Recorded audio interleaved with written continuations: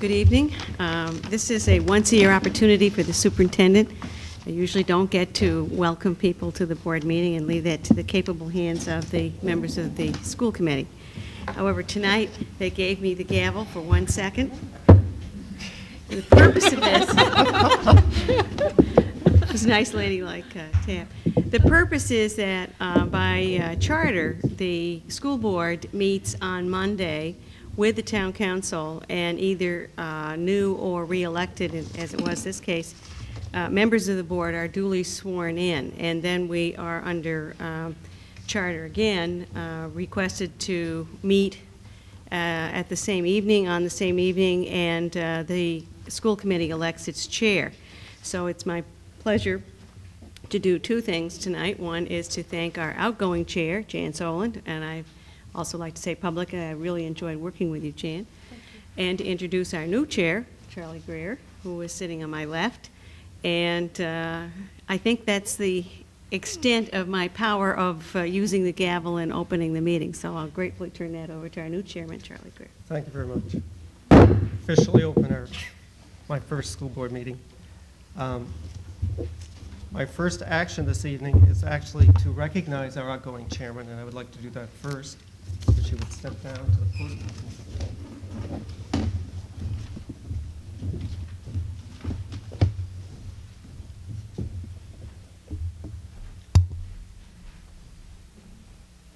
School board members spend an inordinate amount of time, and, and it's volunteer time. But the year someone serves as school board chair, they spend even more time, believe it or not. I was thinking, uh, anytime you serve on the board, you try to think of things that you would like to do that would improve the system and be remembered for something and hope that you instituted some kind of a change. So I was thinking back what Jan could remember about the past year and actually about the past couple of years and what she probably will be remembered. We have to give cre- credit to Jan for having been the chair for the superintendent search committee. And out of that, um, we, uh, that search committee brought on board Connie Goldman, who's been a great asset to our, our system. Uh, What that's brought about is a study, a reorganization, and a rebuilding of the Cape Elizabeth school system that includes our buildings, curriculum, and improved fiscal management. So Jan, when we, years down the line, remember historically Jan Solon, she's the chairman who brought on Connie Goldman.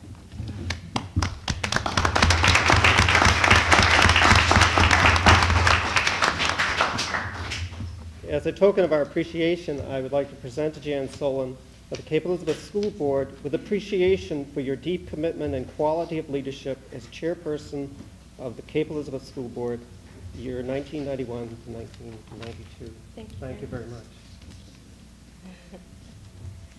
Um, Thank you very much. I, I couldn't ask to be remembered for anything better than that. That's, that's perfect. It's, I think I'm probably the first chairman in the past couple of years that could say I had a truly great year. Um, It it has been. Um, Thank you to everybody for all your hard work. Thank you very much.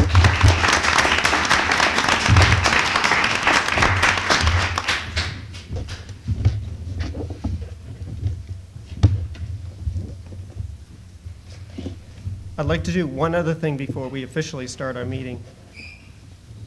We're a school system that's considered a, a good school system in the state of Maine. And I, and I was thinking about what makes a school of excellence. And I think that's really what we're striving for. We're a good system, and I think we, we're striving for excellence. And there are, I feel, are some components which go up to, which make up a uh, school of excellence. One of those is involved parents. Having active parents sends a message to students that school continues to be a priority to adults as it should be to a priority to those children. So it sets a priority. The second ingredient is motivated students. And I think you do that by encouraging classroom discussion and requiring independent research. Third, a challenging curriculum. I think outstanding schools begin with a rigorous core curriculum, and it's achieved with the aid of extensive library resources, state-of-the-art laboratory equipment, and utilization of computer technology. Fourth, a caring community. Community can become as much a part of a student's life with volunteerism, improving the student's ability to problem solve and the ability to do critical thinking. Fifth, innovative teachers. Even though they're on the front lines, teachers have sometimes little say in about how schools are run. Six, visionary leaders. No school can achieve or maintain excellence without a reform-minded administrators with strength as well as compassion. And finally, student-teacher access. And I think we're fortunate because we're essentially a medium-sized student body. And this permits a greater contact among students, teachers, and administrators. And that could be a very positive thing. I think total quality teaming of parents, teachers, staff, and students will result in a total quality education with all of us accepting responsibility for affecting, effectively allocating available resources under really tight budgetary constraints. And I see the year ahead of us as, a, as another continuing teaming approach to solving our problems. I want to thank the electorate for allowing me to continue to be a member of this very positive and ongoing and evolutionary process in our schools. In this next fiscal year, I look forward as chairperson in kind of helping to guide this process. The first item on our agenda is adjustments to the agenda, and I do have an adjustment to the agenda. Under new business, item 9D, I would like to table the appointment to the Community Service Advisory Commission. Are there any adjust, other adjustments to agenda? Seeing none, um, we will move on to approval of the school board minutes. The first, are there any adjustments to the regular school board meeting, May 12, 1992? Seeing none, they stand as, as passed. The next is a special school board meeting minutes of May 26, 1992. Any adjustments? Seeing none, they stand. Our next agenda item is comments by our high school representatives. If they could come forward, please.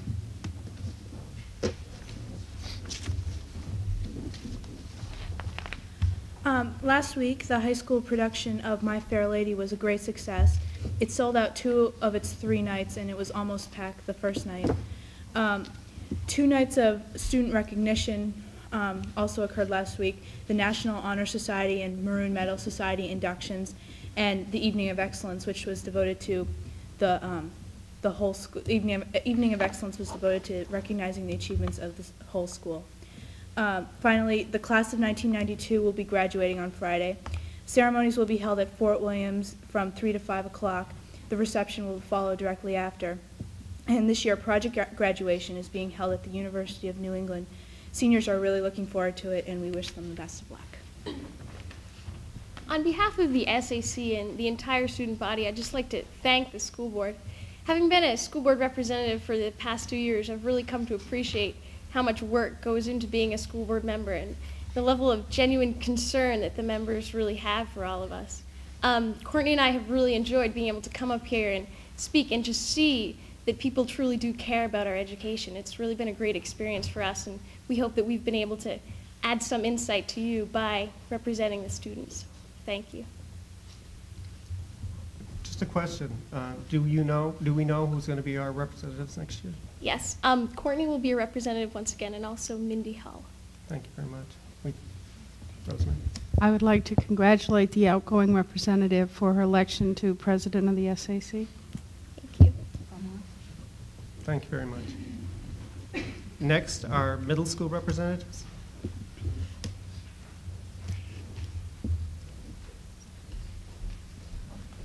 Um, Christy could not be with us tonight because of a family obligation. First of all, I'd like to say that our final dance was last week on Friday, and that was a great success among all the kids. The sporting events will end this week, and the step up day for the seventh and eighth grade will be on Monday. Um, we have one more in, one more orientation. That's for the incoming fifth graders. On uh, Tuesday of next week, we'll have our beach day, and each grade will have an awards assembly on Wednesday, the last day of school. Parents and friends are also invited to those. The sixth grade will have it, and just for everyone's information, the sixth grade will have it at 8:45, and they're all about 45 minutes long. The eighth grade will have it at 9:30, and the seventh at 10:30. And finally, our band and chorus concerts were last week and the week before, and they were a great success as well. Thank you. Thank you very much. Uh, Next will be communications, and I yield to the superintendent. Thank you. Uh, We have, I have two uh, communications that deal with the award of uh, assessment project money, which comes through the USM Assessment Center, which is actually part of the partnership that we belong to. Um, The kindergarten group and the first grade group, both of whom submitted grants on uh, well, one called Kindergarten Language Arts Assessment Procedures and Portfolios, and the other one called Using Trade Books to Assess the Early Stages of Reading in First Grade. Both grants have been awarded grants of uh, 2500 um, and uh, for a total, of course, of 5000 And we are very proud of the teachers who uh, pulled that together. That's primarily Ted DeMille and other kindergarten teachers, and Nancy Rollis and other first grade teachers. When these grants are uh, awarded, we're always delighted. I think it's good for the teachers to get that recognition. I also recognize that we have people who uh, submitted grants that weren't funded, and I thank them for their efforts too. It is our experience that when teachers work together to put a grant uh, on paper and submit it, whether it's funded or not, the work that's gone into planning that is very beneficial. So congratulations to the two groups that uh, were funded, and thank you to all the others who may have participated. Um, At the, I uh, also have uh, copies of a couple of other communications that have come in. One was a uh, letter from some parents on teachers uh, that particularly it's uh, Ogden Williams talking about a project that this class was involved with. Um, I have copies, and I'm not sure whether I've handed them out, but I will when we get to the mission statement of uh, letters that I've received or comments that I've received, um, sort of, um, in some cases stating slightly different points of view, and I will go over those when we get to that point. Uh, So those are my communications. Are there any other communications on the board? Seeing none, we will now move on to the superintendent's report, the first being the Spanish test scores. And I'm going to ask Barbara Canal, who I see is already wending her way to the podium, to share that with us. I know it's good news, and thank you for coming, Barbara. Thank you. Good evening. I'm here to report on the results of the National Spanish exam this year. This exam is given annually by teachers who are members of the AATSP, the American Association of Teachers of Spanish and Portuguese. It's designed to be a very challenging test because students get ranked within the state, and then they're ranked within the region, and then within the nation. And nationally, the winners at the four different levels are eligible for wonderful prizes like a three-week all-expenses-paid trip to Spain. And not wanting to give more than one of those, um, they make the test really grueling. Perfect scores virtually never happen. Students are selected to take the exam. Generally, it's only your very best students who take it because there's a fee involved also in presenting the exam. Consequently, um, you only have your very best students in Spanish taking the test. And even at that, nationally, the average among those better students is 40 out of the 80 possible. The test is administered under very tight controls in mid-March, and it's monitored by non-language teachers. 37% of the test is listening comprehension on a tape. Very few middle school students participate in the exam. The AATSP does not recommend that seventh graders participate because in the traditional seventh and eighth grade program, the students are covering a one-year high school course over the course of two years. And so by March of seventh grade, they really have covered very little of the book, and so it isn't viewed as worthwhile. And indeed, our students were in this position. By March, we had finished three chapters of a 12-chapter high school text. But our students had, most of them, three years of non-textbook-based FLES behind them. And Mrs. Dana and I, as members of AATSP, believed that our students had internalized a lot of grammar and vocabulary and that they might be able to do fairly well on the exam. And they did extraordinarily well. 26 seventh and eighth grade students were selected to participate in the exam based on their academic performance. Of the 26, 24 scored above the national average of high school students taking the test. Within the state, 17 of the top 36 students were our Cape Elizabeth Middle School students. Of the top 10 places in the state, our seventh graders, none of the eighth, garnered second, two students tied for third, fifth, sixth, seventh, and eighth. Six of the top 10 places went to seventh grade students.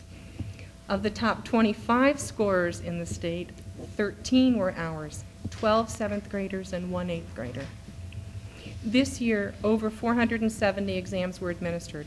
This is down considerably from past years, where it's been as high as 1,100 or 1,200. Um, and a number of the schools who are usually very competitive were not participating because of budgetary constraints. But I've looked back at the, res the results of the years um, from other years, and our top scorers would still have been in the top 10 in the years 1987 through 90, which were the other years when I was teaching at the high school or middle school and had students participating and therefore have the results from those years. And the students really are to be commended. They did an excellent job. Subsequent to the official exam date, all of our seventh grade classes have taken the test for my research purposes. I was looking for some evaluative measure of the FLES program. Although many of these students also scored very well, any direct comparison between how they did and the students who took it in March really isn't appropriate. This, it's skewed because they didn't take it in March at the same point in time, and they didn't take it under the same conditions. Nonetheless, they did very well. I plan to analyze our students' performance on the four sections of the exam, listening comprehension, vocabulary, grammar, and reading comprehension. And I've received permission from a high school in central Maine to use the exams from their first year students, and it's a more traditional program, as a basis of comparison. My hypothesis is that our FLES students will outperform the more traditional group on the listening comprehension and the vocabulary sections of the exam, and probably not do quite as well in the reading comprehension. I'll be finishing my research over this summer, and I'll have my results ready for you in the fall. Thank you very much. It's, um, it's really heartwarming, and it, it is very consistent with the report that we heard earlier this year about the feelings that uh, teachers at the seventh grade level, where they were beginning to get the uh, youngsters who'd been in the program for the full period of time. Um, Are there questions on the board? On the board, comments? Mark? I just want to congratulate you both on the success of the program, but more specifically on the process that you're using to address the program. Uh, I think it's exemplary in, in the way that you have addressed it. Um, you have an outstanding program, and still there isn't clear satisfaction. It's how can we make it better? How, why were we good? What are we going to do to make it the best program around? And then how can we teach other kids across the country in a similar style? I just think it's terrific. Thank you. Thank you very much. Uh, Also part of the orientation meeting last night, uh, the school board goes through a list of subcommittees and other committees uh, on which uh, school board members serve. And I'm going to ask our new chairman to go down those uh, lists. I think it's of, of interest to the public at large to realize, first of all, that there are a number of committees that can, that boards regularly serve on. Many of these are committees that are made up of staff, sometimes uh, with additional parent representation, and it is an indication of their continuing interest uh, in this, in the day-to-day working of the school, as well as the input into understanding what the basis would be for future policy decisions. For the 1992-93 school year, the school board committee appointments are as follows. Our two major subcommittees, which are finance and policy, are first, finance will be served by Mark Foray, Ann Chapman, and Rosemary Reed as chairman. Our policy subcommittee will be Peter Leslie, Jan Solon and Loretta Pond as chairperson. The Arts Committee will be Charles Greer. The Athletic Fee Committee will be Mark Foray. The Co-Curricular Committee is Rosemary Reed. The Community Team Representative is Rosemary Reed. Uh, The Legislative Liaison Contact Person will be Rosemary Reed. The Maine School Board Association Delegate will be myself. Um, The PRVTC General Advisory Board will be Ann Chapman. And the Town Center Planning Committee, which is a, I believe, a sunset committee, will still remain as Rosemary Reed. The only committee that we have not um, named as yet is negotiations, because presently we're still in negotiations, and until those have been resolved, we will not make reappointments for the next contractual year. Thank you. Thank you.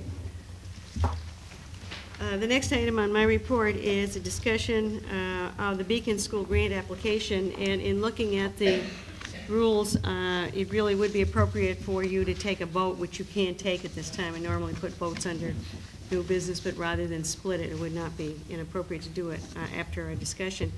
I have given uh, a, you a draft copy uh, that I will say about the draft copy. It needs further work in the sense of getting it down to the requisite number of pages, but it is essentially what will be produced. The only thing we have left before us is to add the budget sheets, uh, which are indicated in there. There are some um, indications of how the money would be spent.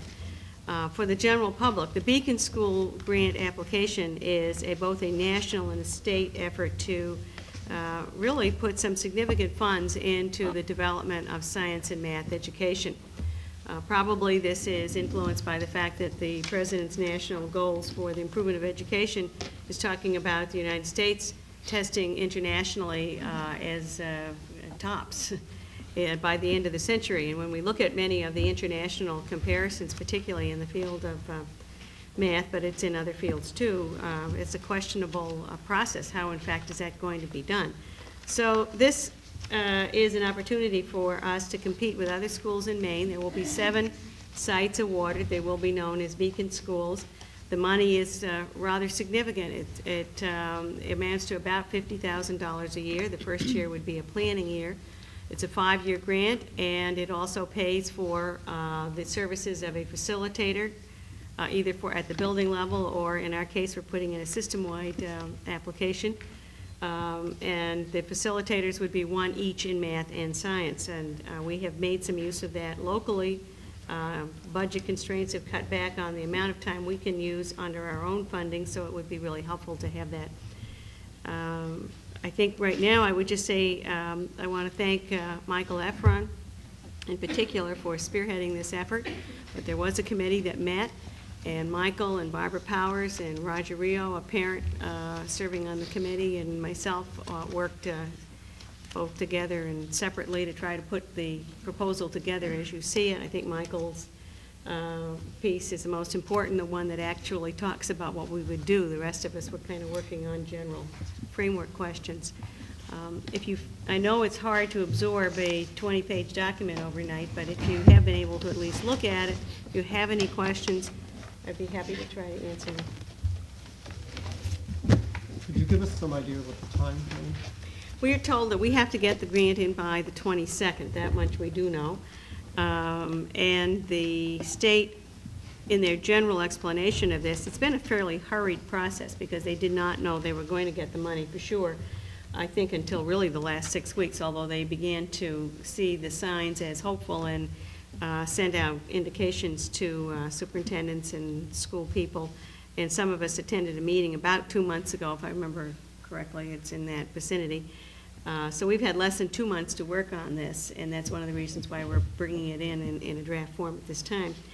Uh, I understand that they expect to be up and running for the fall session, and therefore they will be reading these um, and getting back to districts fairly quickly. However, when I went to the initial meeting, it looked to me like every school district in Maine was represented. I mean, um, we had to uh, list our intent to apply, and there were about 144 people on the list, so uh, I don't know how many of them will actually pull it all together, but um, how soon they can really process packages from let's say, even 100 schools, uh, I would think realistically that's going to take them a while, but we should know sometime this summer, one way or the other. I, I just had a comment, and that is that obviously a lot of work has gone into this, and whether or not we get this grant, which obviously would be wonderful, um, I, I think that the information that's been compiled in this and the thinking that's gone into it should help our system in the math and science area anyway. So it's a great job. Rosemary? Yes, I just did want to commend the writers. It's a a tremendous amount of work, and it really consolidated a lot of things for me, and I appreciate it as a resource. But I would like the money, too. Seeing Michael's presentation, it's almost like helping us with a five-year plan in both math and science, and I think that's the positive thing, whether we get the grant or not. I think there is a lot of interest among, particularly among the uh, math and science people, of course, but I've also tried to point out to staff who are not necessarily math and science people that that kind of infusion of money frees up resources for other programs on the local level, so that I think we all benefit. Um, And of course, all students take math and science, uh, so that that is really the, the critical piece. It's kind of an exciting vision because it is a K-12. That is one of our advantages. We are a small school district. We are on the same campus as far as our buildings are concerned, and uh, we've already gotten into the idea of coordination in math under, uh, particularly with Michael's uh, situation. Uh, But we have building coordinators, and we've had, we've- we've really taken a hard look at how we pull it together. So we have um, a very strong math program, uh, science program at the high school and middle school level. The elementary teachers feel less confident that their program uh, is as strong, and certainly that would be a target area for us. But whatever happens, I agree with you. We feel we've done some planning, and to the degree that we can implement those plans with the budget we have, uh, we will keep right with it. Is there anyone from the public who would uh, like to address this particular subject? Seeing none, would someone tender a motion? Rosemary? Uh, Mr. Chairman, um, I move that we accept the uh, Beacon School grant application and uh, ask the superintendent to submit it to the state for uh, consideration. A second? Any further comment? All those in favor? Seven zero? Thank you.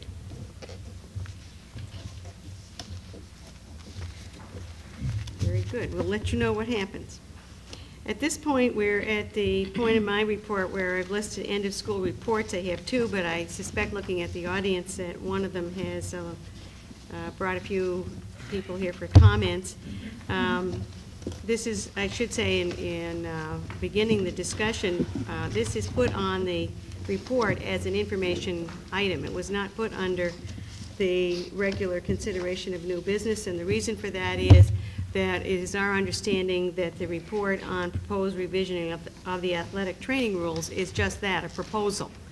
And this is an opportunity for uh, administration, for coaches, for parents, and uh, for uh, student athletes to make comments on those proposed revisions, uh, and for the board, in turn, to give some clarification as to how it regards that proposal. Uh, So having said as much, um, I would ask Mr. Miles to start the discussion with a brief summary of a report that most of us, I think, have had a chance to read. Thank you very much. Um, After an incident last fall involving the athletic training rules, the administration formed a review committee composed of students, parents, coaches, and administrators to consider various issues surrounding those rules. The Athletic Contract Review Committee met several times during the winter and early spring to review the current rules, which students must sign before they are permitted to participate in a sport. The key provision in question here those rules involves the consequences for using tobacco, alcohol, or drugs. I might note that our current policy um, will remain in effect until the school community can agree on a replacement. Some of the issues surrounding this policy are as follows. Despite the school's concern over the use of tobacco, alcohol, and narcotics in, in student use off of school grounds and outside of school activities beyond the school the question really is, are those activities beyond the school's limits of responsibility, or are they something the school is responsible for? Question that the committee tried to grapple with is, how can the school enforce any kind of rule when the violations occur off school grounds and, if you will, outside of the school's purview? Does the school, in this situation, set itself up by having such a, uh, such rules that are difficult, if not impossible, for us to monitor and enforce, and on which we really must rely on others to monitor? Um, The difficulties of enforcement of the contract aside, does the contract in its current form, contract which involves if a student violates it, suspension from four contests and, and a consultation with a substance abuse counselor, does that contract do what it was intended to do? That is, does it deter drinking and drug use by student athletes? We know from some students and parents that it does. But we know from an even greater number of students, confirmed by questionnaire and parent comments and student comments, that many students ignore the contract. If students do not see themselves as bound by the current rules and student substance use is not effectively reduced, is the school's fundamental interest here really being served? Thus, the basic task for the review committee was to develop a policy alternative for athletics and, for that matter, for all co-curricular activities, which would control substance abuse more than the current policy does. We as adults may feel more comfortable with a tough, clear rule forced on the students, but if such a rule is difficult to monitor and enforce, are we actually serving the interest of reducing the substance use? It is in this light that the recommendation of the Contract Review Committee focuses on getting commitment from students to abide by the training rules established by the coach and the team.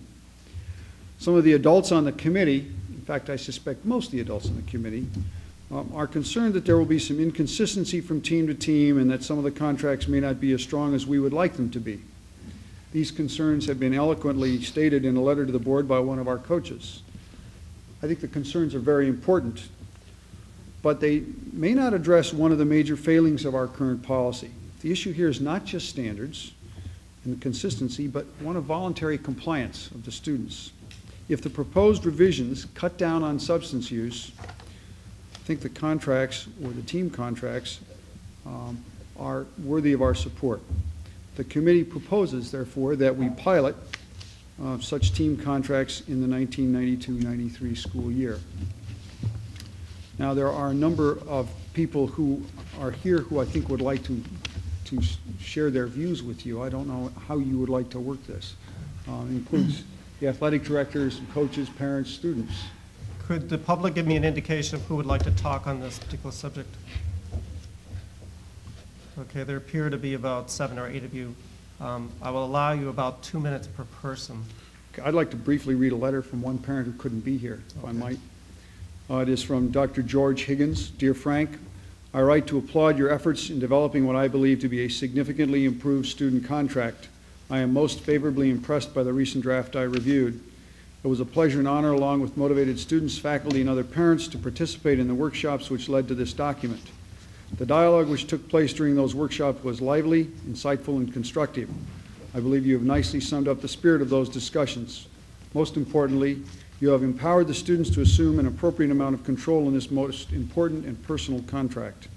In summary, I fully support the content of the student contract and believe that incorporations of the recommendations offered therein will lower the incidence of substance abuse among our students. Thank you for your able and much appreciated efforts. Sincerely, George L. Higgins, MD. Mr. Weatherby, do you want to speak first?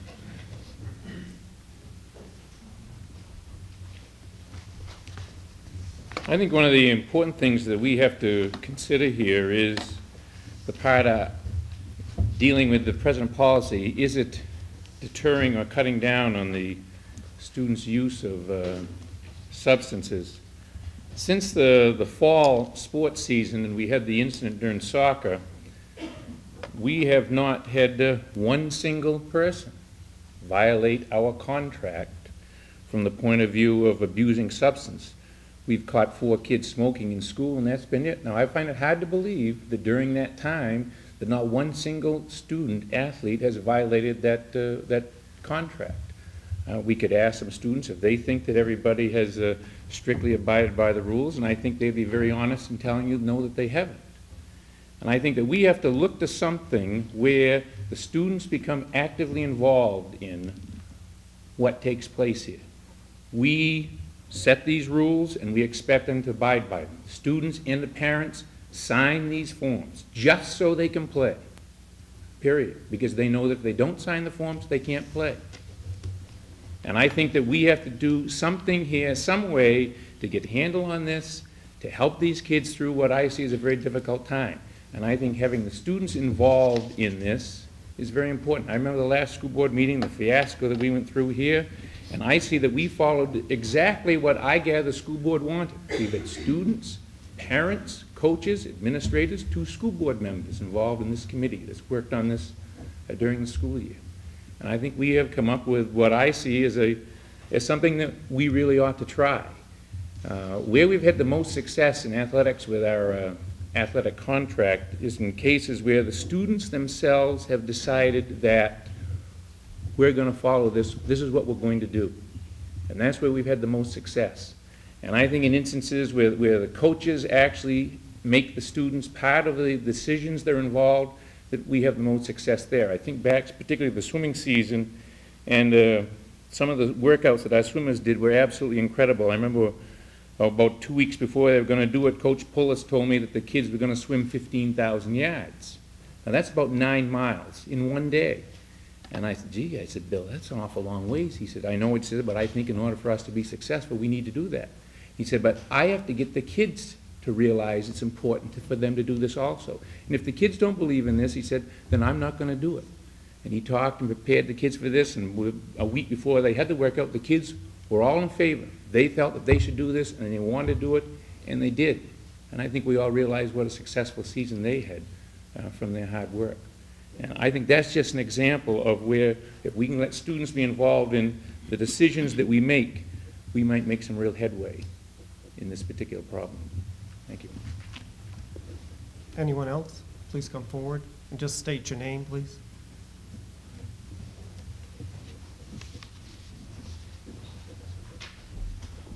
I'm David Townsend, and I'm playing on the lacrosse team and the basketball team.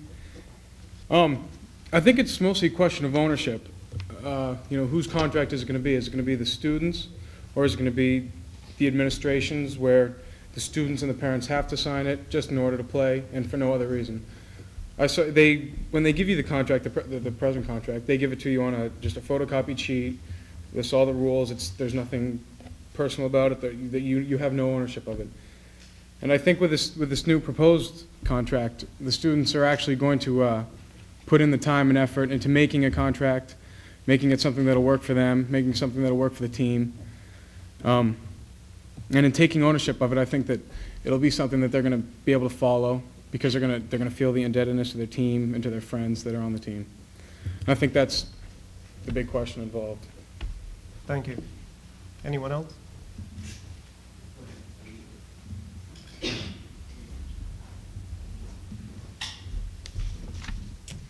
I'm Tracy Weatherby, and I'm um, head girls cross-country coach, and I assist in uh, coaching spring and sometimes winter track. And I would just like to say that I am in full support of this newly proposed policy. I feel that um, although there, there probably will be inconsistencies between the teams in exactly what the policy states and what the students need, I think that um, that is a consequence of the type of individuals each sport attracts. I think that um, there's a difference in each type of sport, and that's why um, individuals choose those sports because of those differences. So I think inherently you will find differences in the attitudes coming from um, each individual team. However, I think underlying um, all of this, it will be a consistent policy. I think most of the coaches um, obviously do not approve of their athletes using alcohol or drugs during their season because it inhibits them um, from performing better, and therefore it, it kind of gyps the whole team in that respect if one person uses um, drugs or alcohol.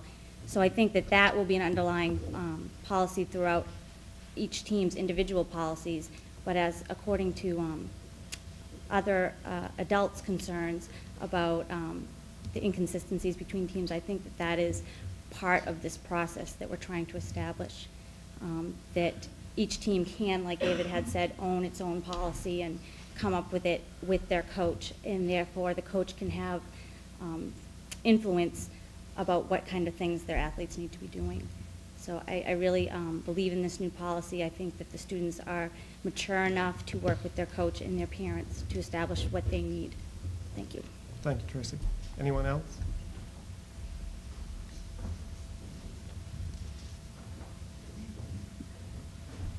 Hi, I'm Chris Richards. I'm a varsity assistant lacrosse coach. I've been here for eight years. And um, I do a lot of hanging out at the school because of my job and frequency and working at nights and stuff. I come two, three hours early and I sit and I talk with my kids or just about any athlete or any student in the school. And it's been obvious to me for the past four or five years that the contract is a joke to a lot of these kids. And that started to, wor- to worry me. It's worried me for several years. And the reason I like this present proposal is in the old system, it's them against us. I don't want it to be them against us. I want to work with these kids. I want them to have a voice in what's going on. I'll help them through it. We're not going to just sit back as coaches and say, you guys decide what the policy is. I mean, it's our teams.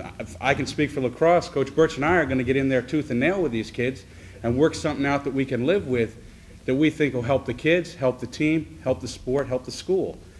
But I think these kids, in these meetings I attended, they're ready for it. They're tired of losing championships because three or four kids go out and get loaded and they can't say anything to them because, well, they've been doing it off and on during the season. Because they haven't agreed on anything as a team.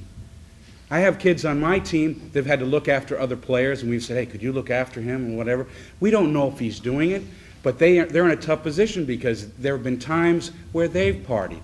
Now, how, they can't turn around and say, well, hey, you know, uh, you know, you can't do this anymore. But if we agree on something, if we sit down as a team and we get together and the kids sit down and agree on something, I think they're going to follow it a lot better. Because it's just that whole they and us mentality has driven a wedge between really helping these kids. Because there are kids, irregardless of the fact that they're just athletes, that have substance abuse problems. They have problems with alcohol. And as a coach, I'd like to help them out. And I think under the current contract system, I just don't see, I don't see anybody stepping forward. I don't see any feedback from the kids.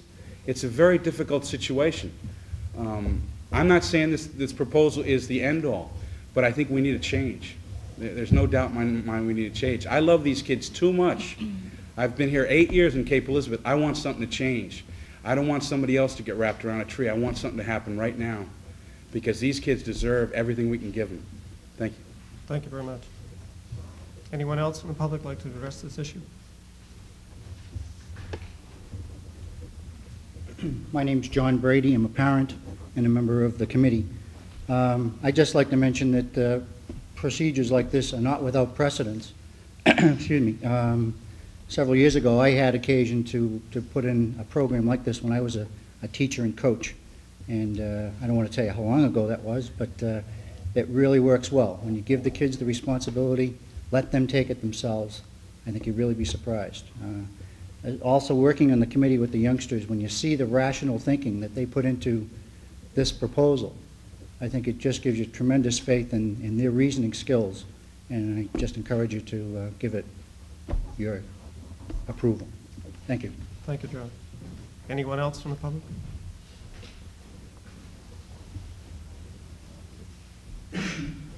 My name's Tom Wentworth. I'm a parent, uh, have two children in the Cape Elizabeth uh, school system, and I was also a member of every meeting that the committee had. Uh, In the beginning, I had a feeling that it was kind of sad that uh, you even have to have a contract. I, I was an athlete, uh, quite successful, came from a family that uh, athletics was pretty much our life. Uh, But this isn't 1960, it's 1990, and contracts are, are something that we really uh, live with these days. And uh, as everybody has already stated, um, I'm a firm believer after the, the meetings that we have had that uh, the type of contract that we have now really doesn't affect the athlete that is the high-performance athlete, the athlete that you really don't need to worry about. Uh, they're always going to be in training and performing. The athlete I think that we're pretty much targeting here is the, the athlete that uh, might uh, stray and wander and, and uh, be involved in some things that they, they probably should not, uh, not probably, they should not be involved with, uh, drinking, drugs, and so forth. Um, It's exciting, it really is. It's something that I think, um, I, I think it's, it's, it's a great opportunity. It's very, it's, to me, it's very progressive uh, to allow students to, to set the standards and to uh, set the outcome for, for what's actually going to happen. Um, I, all I can say uh, is that if it doesn't uh, improve and it doesn't work, we can always go back to the, to the type of contract that we have now. I think that's the way we really have to look at this. And um, I, I really uh, hope that, that you give it your approval. Thank you, Thank you.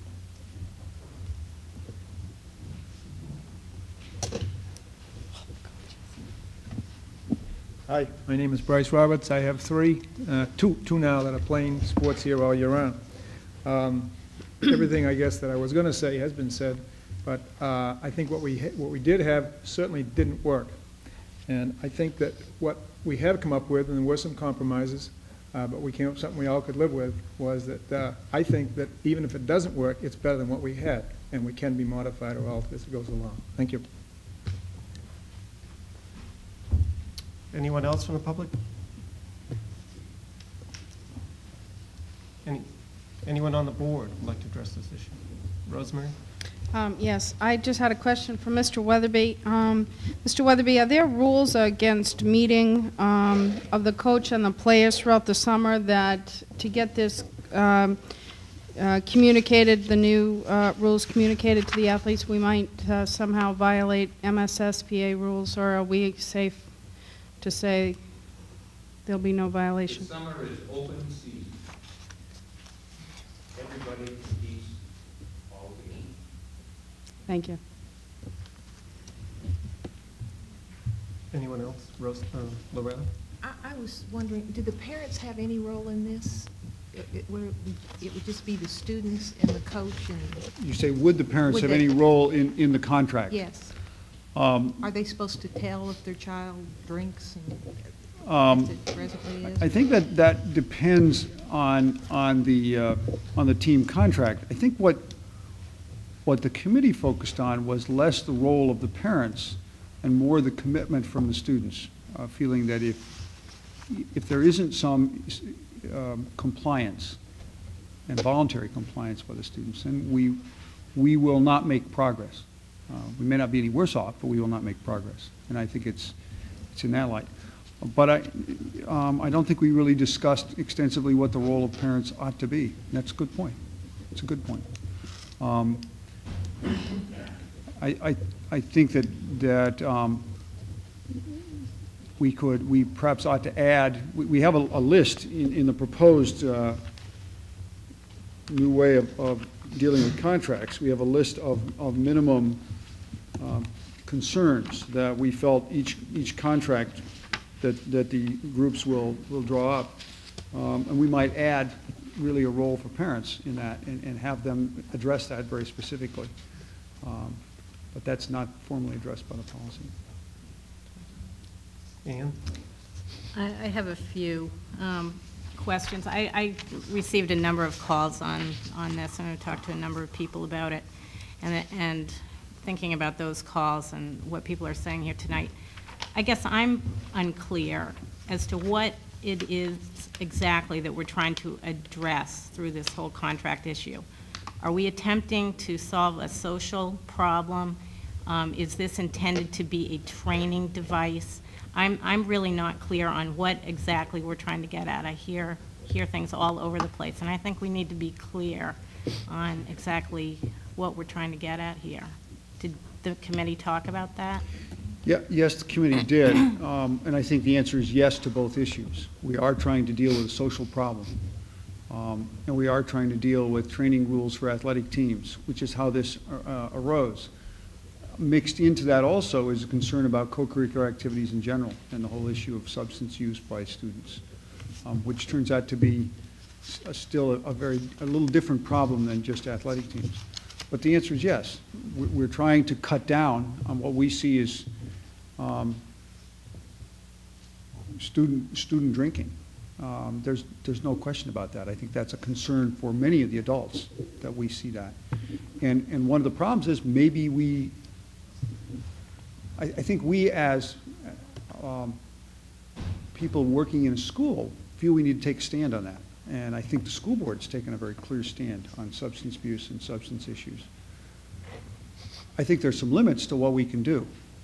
And that's a problem. And that's something that, that the committee started with, is, is whether or not really the school has any role outside of school activities and outside of school time in policing this issue. I think coaches feel that there is a role. I think they feel it affects, I think they, number one, are concerned about kids, as you heard Coach Richards talk. I think they feel it affects the performance of their athletes. Um, I think they feel it, it affects the commitment of the students to what they're doing and their focus on the task. I have a few other ones. Continue, just- continue. Um, Since there wouldn't be one set of rules for, for all the teams, what would happen in a case where, it's, it's one thing, I know, for everybody to talk about a hypothetical situation that has not come up yet. What happens when you have a kid who runs afoul of the rules of a particular team? Um, What's the, what's the course of action if they don't like the particular punishment once it's meted out against them, or the parents don't like it? Is there a procedure in place that the administration would follow for investigating and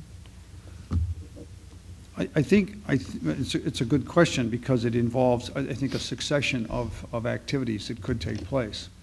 Um, Our thought is that it would operate very similarly to the, to the current contract. That, that is, uh, if, for example, a, team decided that students who in, in, uh, who violated a rule, training rule, would miss one game, two games, or whatever, um, and a student was reported to the team or to the administration to have violated that, the administration would enforce that team's contract along with the coach, and the student would be suspended, let's say, for example, for, for two games or one game.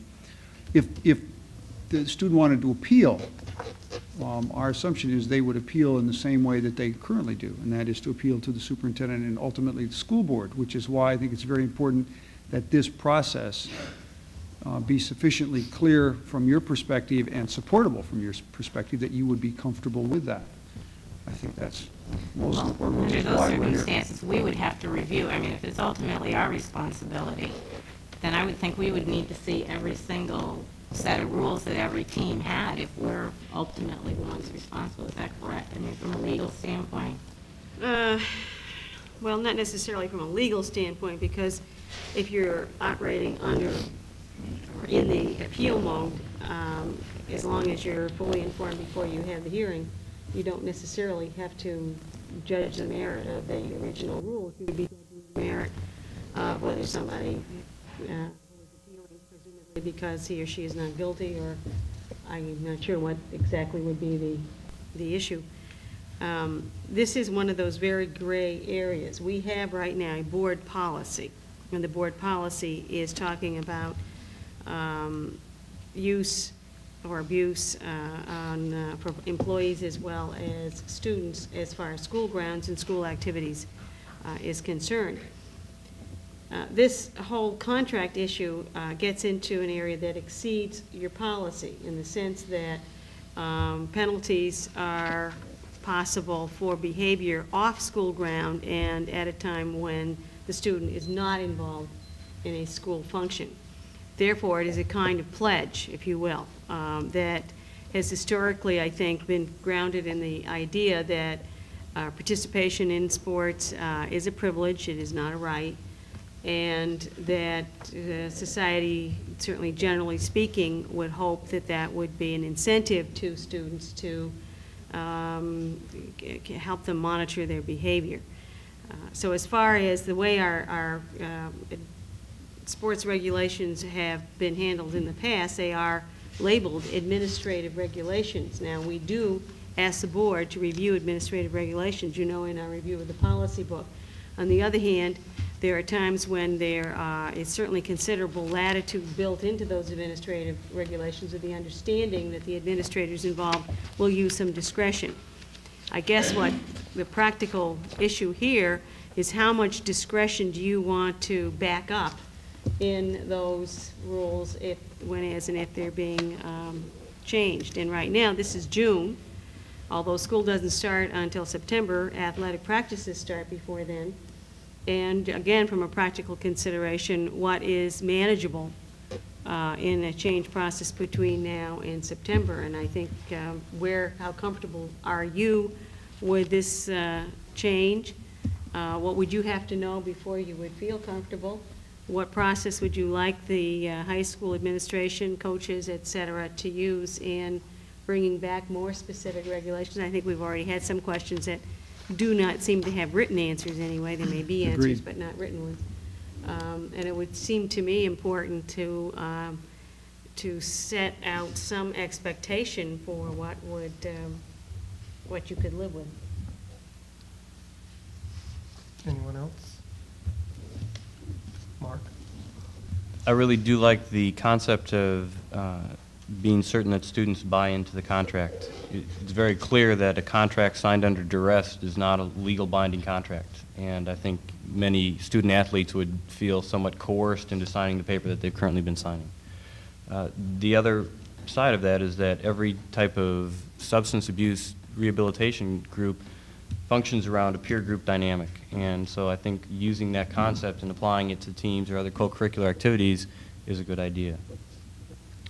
The concern that I have about this is that the new substance abuse policy enacted by the board was also relatively vague in terms of what the recourse is to be for infractions that have occurred. And there is certainly merit for that wording and reasons for uh, writing the policy in that manner. But I think it- if we are to move in this direction, I think it's critical that we have a monitoring device that will follow not only the athletic contract concept, but also how that ties in with the entire overall school substance abuse contract, or substance abuse policy. There's apparently been a change in reporting since the fall, and that's important information. But I think we also, if we do embark on a new way of addressing this problem, it's critical that we have a very clearly defined assessment tool and are able to revisit it and determine what revisions are needed or whether a new system is needed. And I think it's critical that those be in place prior to accepting any type of new approach to uh, policing the problem of substance abuse. Jan? I'm not real sure which side of the coin I come down on with this issue, possibly because I don't deal with kids this age, except that I have to wonder why it is a piece of paper and why it is um, either getting to talk about it or not getting to talk about it makes the difference as to whether or not an athlete will drink or use drugs. It seems to me that it's, it's a very moral question, and I would think that hopefully kids would have values that would say, with or without a piece of paper, I don't want to do this because it's not the right thing to do and it's going to hurt my team. But since that doesn't seem to be the case, um, one question that I have is, or I guess a statement that I have is, if this is what would do it, fine. But I have to really question whether the last contract was truly um, enforced the way it should have been in the first place. I, I wonder if perhaps the first time something happened, there was an incident, if, if the consequences had been, from the coaches to the administration, had been dealt swiftly and, um, and to the ultimate degree, if that example would not have been enough to uh, curtail more incidents instead of saying, well, some of the coaches enforce it and some don't, and leave it at that, and say, well, for this team and this uh, part of the season, we'll do it this way, and so forth. I, I still question whether uh, the old way was adequately tried. But, but if people feel that it was and that this would do it, um, fine. Anyone else? Rosemary? Um, I, I would just like to say, if the superintendent was asking uh, what would make me, or we as board members, uh, more comfortable with this, I would say that from my perspective, I would like uh, it very uh, completely and, and loudly and often explained what the expectations are, both the role of the parent, the role of the student, the role of the team, and not that everyone has to sign a contract in order to play, but I certainly hope that members of the team will all sign that they agree that the conditions set above the signatures uh, were all acceptable and fully understood by the members.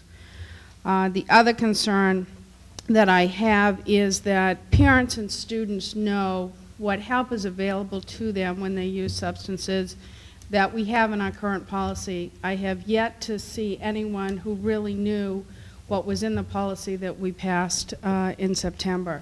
And I think if they knew what that policy uh, statement said, that it might be helpful in having them understand um, that we're not uh, trying to punish uh, actions. We are trying to encourage appropriate and healthy uh, behavior in our athletes and students in general.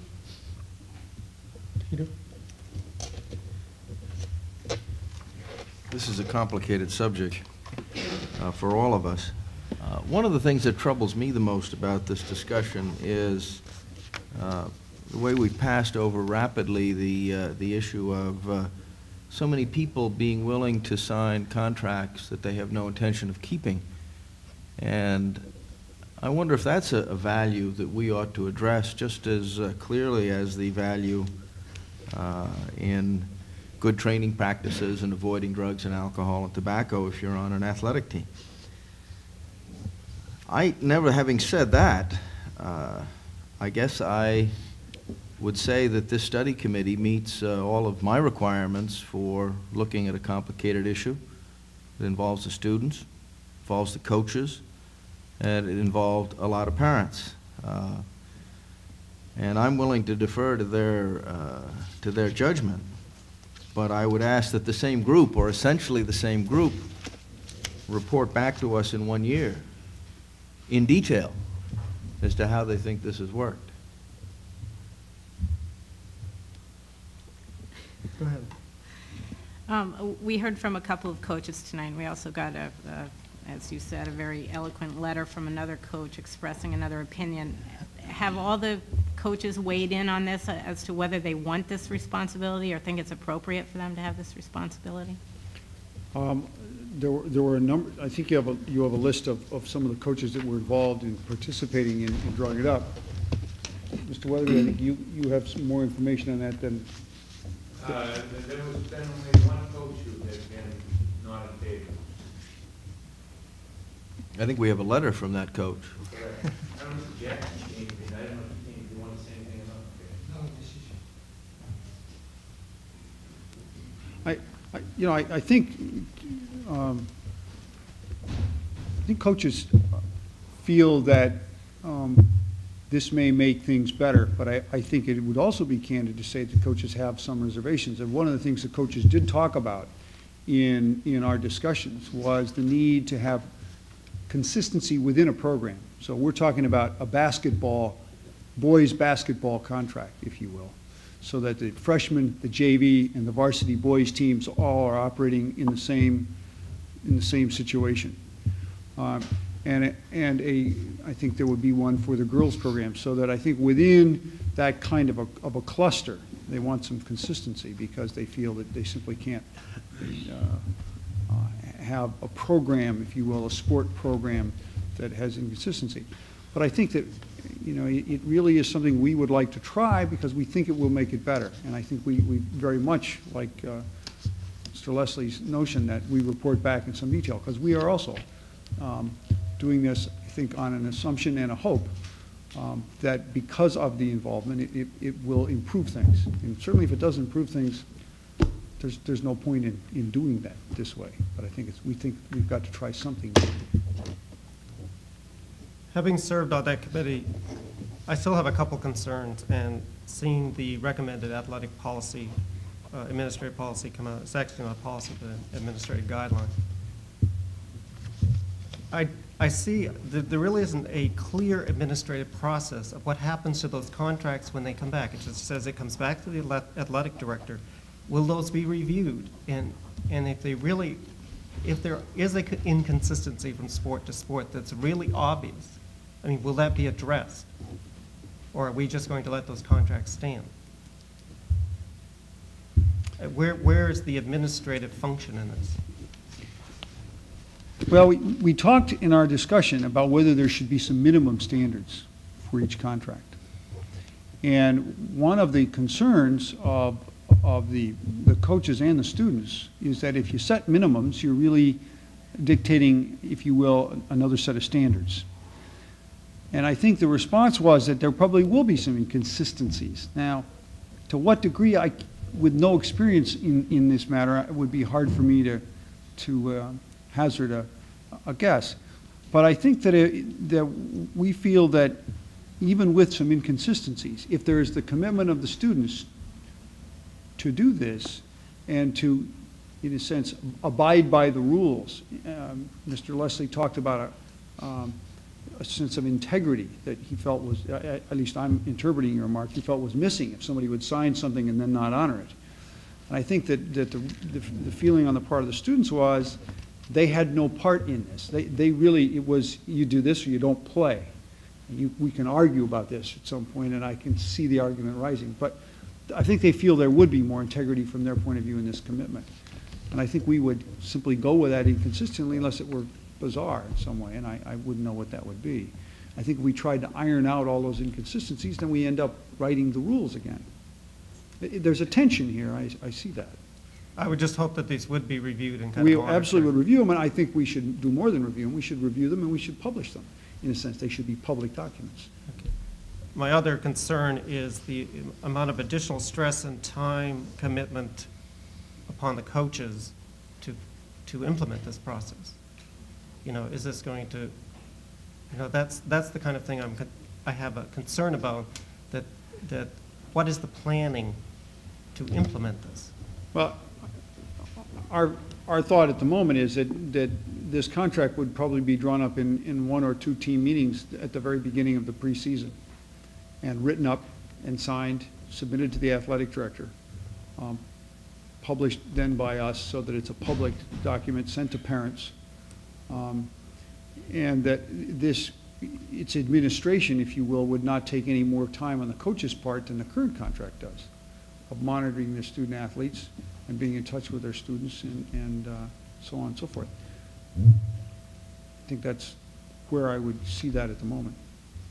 Jan? To go along with the time issue, it seems to me like we spend large chunks of school time, starting in grade school, talking to kids about drugs and alcohol.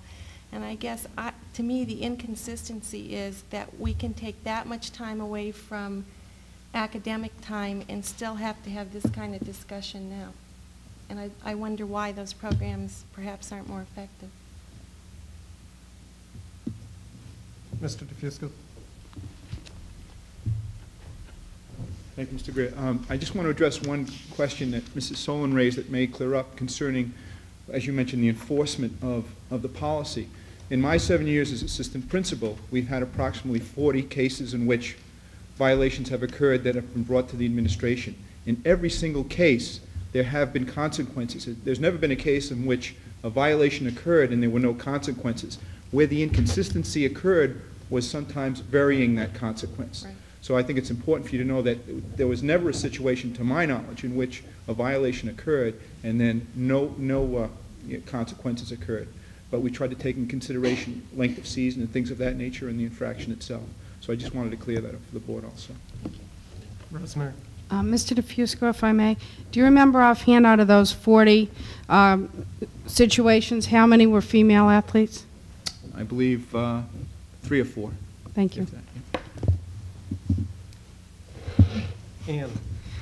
Um, I just have a couple um, comments, and, and one is that I think it's great. You know, I'm a great proponent of having kids, parents, everybody involved here, but, you know, the bottom line with this is that we are talking about students doing something that is, you know, illegal anyway. So, you know, I don't, I don't think we have to you know, continually make it comfortable for people. It, you know, we are talking about they're doing something that's illegal. Um, The other thing is, is there, there is no minimum consequence that, that you're looking for? I hate to keep harping on this, but what if somebody comes back and there's just really, they just say, please don't do this? Is that going to be acceptable?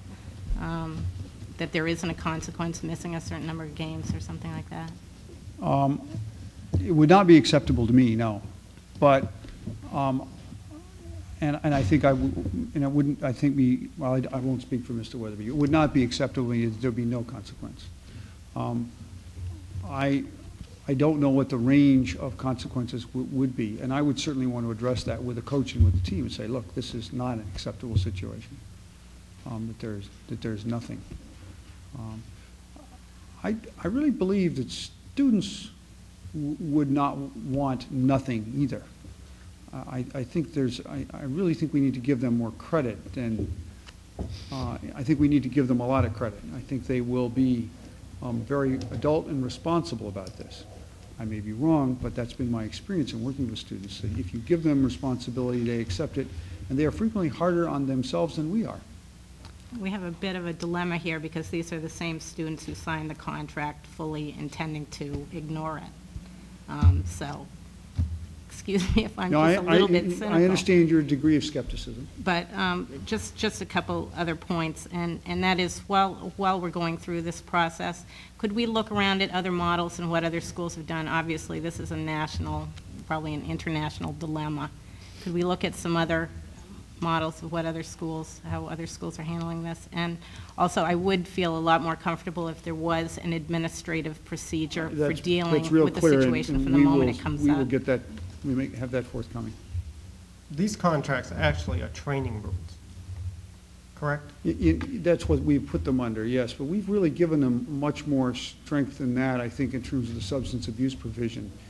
Um, What we have done is made the current, the current contract, which is, is, will be in, uh, in effect until we replace it with this or, or something that we all feel comfortable with. The- The athletic part of that parallels the school's substance abuse rules. Um, So that there's, there's a- an intent here to be congruent.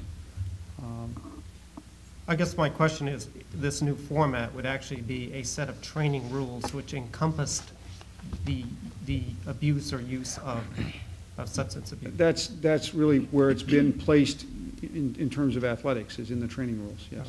So that's what those coaches would be bringing back to you as a That's right. set of training There, rules. there is a set of training rules already in the student handbook, and, and, and the substance abuse portion of that is an, an addenda to those training rules. And what Mr. Weatherby has done at the beginning of each season um, is to get parents together. Um, They must come to the meeting, and they, he reviews these rules, he reviews the substance abuse provisions of them, um, so that when they sign it, they know what they are signing and how, how he and we feel about it. But there are coaches who have even more stringent training rules than the ones, or variations. each coach has variations. Um, For example, the hockey coach this winter um, would set curfews for his, his team, and he would call their homes, and when he found them missing, as some of the students would attest, they did not play. They knew they would not play, and they did not play. So there are additions to those training rules, yes. So to me, this is what would be coming back. Is there a set of training rules Right. em- embodying this concept about Exactly. substance abuse?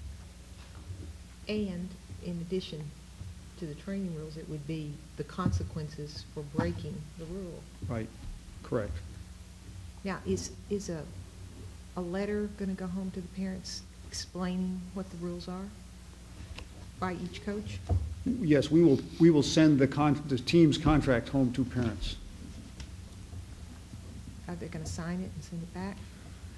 I think what we will ask parents to do is sign that they have seen the contract. I, I think the whole issue of a, of a, and Dr. Foray said it, a legally binding contract is something that's a little different here. I, I, I'm not sure that um, a legal counsel would say this is a legally binding contract. I think what we're saying is to somebody, you admit that you have seen, read the rules and know what they are. Um, I think it's in that spirit. Now, in, in the past one, we have asked parents to turn in students Um, That has happened very infrequently. And in the past, if parents had not signed that particular document, then the child didn't play. What's the, they're not the same consequences now. Well, um, I think we could put the provision in it if you will not sign this, but, but it- I think we're going to ask a different question. We could certainly put in the provision that you have seen these rules, you know what they are, and that's what gives your child permission to play the sport. Anyone else? Rosemary? I just one more. Um, Frank, when this um, mailing goes home to people, I have um, a couple of suggestions for the wording. Sure. And One is the elimination of the word activity, uh, since this Right. is limited to sports, Yeah. and there are a few other We're going to pick up the uh, things. co-curricular activity piece of it in the fall. It- it- We thought this might address both, but it- it- there were some significant differences between a sport and a yearbook, for example, that make it, Right, well, there were two references to co-curricular yes, and I will activity. delete those, yes. Um, Also, if the language could be consistent with the in place, for example, the use of the um, phrase, uh, use of um, alcohol, tobacco, and other drugs, and just, you know, so that the language is consistent, so people might be able to refer to either document. That's the end of my comment. So I sense there is a um, consensus here for this to proceed on. If anyone had any really objections, please voice them. I think I already did. Okay. I think, I think there's a consensus to, to try this with some suggestions. We will, uh, we will, we will get back to you um, shortly, um, a process, and get some feedback from you on that informally. Okay. And involve the parents Yes. as much as possible. Yes, we will. Thank you. You're welcome. Okay, uh, difficult topic. Moving on, uh, the summer maintenance and classroom moves, I did include in your packet a short memo that went out to all staff members, and uh, it explains what part of what uh, Sue Weatherby's ongoing role is in uh, trying to use a coordinated approach to not only keeping track of various activities under maintenance and custodial work, but also uh, the summer uh, classroom moves. Uh, There's been a really, I think, um, obvious effort to reach out to classroom teachers. They've been given forms to check what they need done, what they don't need done. Uh, We are moving, including uh, classrooms at the middle school, somewhere upwards of 40, over 40 classrooms. Some of them are not going very far in the sense that grouping, regrouping the larger classes at the middle school is um, uh, definitely taking up, you know, it's not moving from one building to the other, but it definitely is a move. So I just want to let you know that that's very much going on. We have met with fourth grade teachers and with kindergarten teachers. They're getting, of course, special attention because of the nature of what's happening in their cases. Um, I certainly thank and compliment Sue with the way she's working uh, with Charlie Freeman and uh, Gary Spencer in order to coordinate things. Uh, I'm feeling that we've got it under control, but there is a lot of work that has to be done this summer. I- If you have any questions, I would, anybody want to help? And the last item under my report is the uh, Handicap Access Committee. Um, The committee itself, it's an advi- an advisory committee. Uh, Shirley Willis has been uh, chairing that and uh, has agreed to continue doing that. And uh, uh, furthermore, we have some parent representation. Uh, And I want to point out that Michael McGovern has been sitting on that committee uh, because this is not just a school issue, it is a municipal town and school building issue. Uh, The members of the committee are Nick Burnett, Kathleen Egan, Michael McGovern, Rebecca Smith, Heather Tangway, Mandy Garmy, Rick DeFusco, myself, Dwight Smith, Gary Spencer, and Sue Weatherby. Uh, And we have, from time to time, had other parents attending. We have, um, uh, we have, the the committee has scheduled a hearing for the week of the 22nd. Uh, Sue, can you help me with the, is it the 22nd or the 23rd? Excuse me, pardon me? It did turn out to be the 22nd. Monday, the 22nd at uh, 7:30. And we'll, s- 7 to 9, okay. Thank you very much. Um, That will be advertised in the Courier. It also will be on the bulletin board outside. Um, We are really interested in letting the public in general know this is not just a school building issue, even though the majority of the municipal buildings uh, in the town of Cape Elizabeth are schools. Uh, We want to point out that this is an issue, uh, and the law as now expanded definitely refers to all public buildings.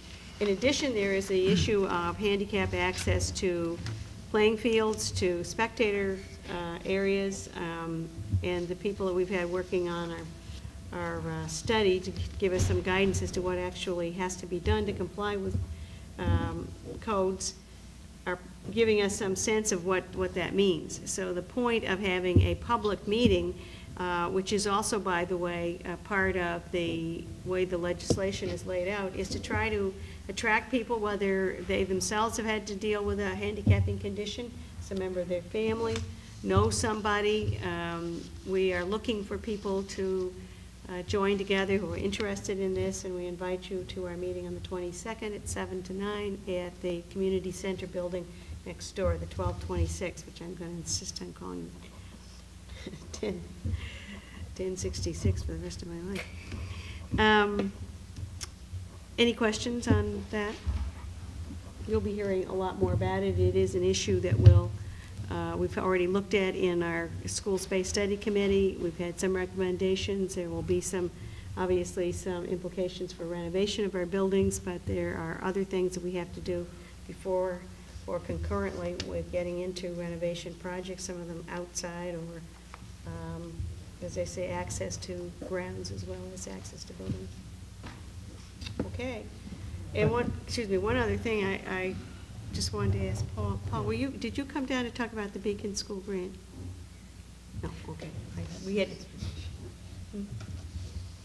that's fine. I just was, was, let, I had seen you come in and I wasn't sure we'd already talked about that. Thank you. Thank you.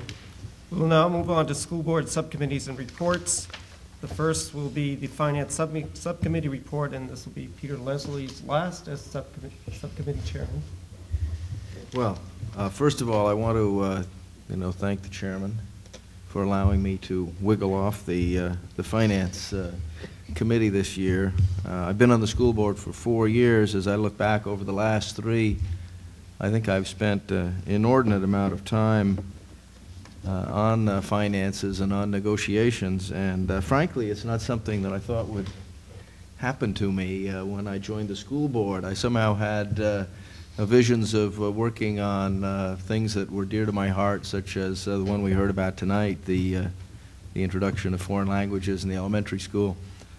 Uh, But it didn't turn out that way, and uh, while I guess I'm condemned to continue a while longer on negotiations, which is related to finance, I'm very glad that this is my last uh, report, uh, and uh, uh, there is actually no report tonight. uh. I could, I could mention, uh, if we were, uh, you know, desperate for substance, that uh, we, uh, we did uh, submit to the, uh, uh, the teachers' uh, bargaining unit uh, this afternoon, uh, the school board's offer. Uh, This is uh, later than we've done it uh, in most years because of a number of reasons, partly the complexity, but partly the, uh, the fact that we didn't find out until quite recently what the uh, Blue Cross Blue Shield uh, cost of health care insurance would be. So that is uh, underway, and uh, we'll see how that uh, turns out. Um, And that, I think, is my report, unless there are any either observations from the other members of the committee or comments from the board. I thank you, Peter, and I hope you will continue on the negotiations as a, We'll as a talk. policy subcommittee member. Okay, our next is policy subcommittee report. This again will be Ann's last report as a policy subcommittee chairman. I'm not going to make a speech, I'm just going to give a short report. Um, We we last met on May 19th, and we're continuing to slog through the instruction section. I don't know how else to put it, but we still have a long way to go, but we do have some um, policies uh, for first and second reading tonight. And I had a question for Connie that I I should have asked before. Do we have to vote on a policy we're deleting, or do we just have to note it? We are deleting a, we are suggesting a deletion. Um, I'm not sure that, yes, I guess it would be, you know, crossing the i's and dotting the t's. Yes. Did you want to say Oh, I, something? I just, the, the policy subcommittee is not empowered to make those decisions, so we would obviously have to vote on it. Okay, there is a current policy to be deleted recommended by the policy subcommittee. It is IGDJA. I would entertain a motion. So moved. Second? And Any discussion? Why don't you read what it is? Okay. Um. The IGDJA is announcing summer athletic schedules and length of seasons, not necessary to have board, board policy. All those in favor? Seven zero. I just want to say one more thing. That is, it's been really fun to do this, and I'm going to continue to come kind of haunt the meetings. And I'm glad Loretta's taking over the chairmanship. We also thank you for your first year on the board and the first year that the policy subcommittee was in effect. And you did an outstanding job of keeping that process going. Thanks. Thank you. Uh, Next would be the Town Center Committee, Rosemary Reed. I have no report on the Town Center Committee at this time. Thank you. Uh, Next would be Community Team, Rosemary Reed. Yes, I would like to report that last night there was a training session. Unfortunately, I was unable to make it. I was at a school board meeting. And the next four-hour training session for community team members is on June 29th. Is that a, do you have a time? Uh, Well, it's for members who are currently on the team who are in training. Okay. Yes, Good. I think it's 4 to 8 PM, but Okay. it's four hours. It's a two-session training. Yes. Okay. And uh, that members of the community are in fact invited, and there will be an election of new officers at the next meeting. Okay, unfinished business. Uh, School board policies, second reading. Um, That would be, um, do you want to present those? Want me to say? Yes. Uh, Policy IGBHA, equivalent instruction, and IGCDA, post-secondary enrollment options, and IF, curriculum development and adoption. Um, I entertain a motion. Loretta? Do I hear a second? Peter? Is there any further discussion? Hearing none. All those in favor? Seven zero. Uh, The next un- unfinished bus- business is our mission statement adoption, and I yield to the superintendent. Okay, uh, we've had a fairly long and involved process on this, and uh, the most recent piece has been a workshop we held on the 26th. A Number of people came and expressed uh, concerns about, mainly centered around the uh, part of the mission statement that says that academics would be the priority. And I do have, as I mentioned earlier under communications, a letter from one of our uh, staff members, Celeste Bursch, who was at that meeting and spoke up and tried to, uh, I think, very eloquently express her concerns about, looking for my, the copies for that. Mm, where is it?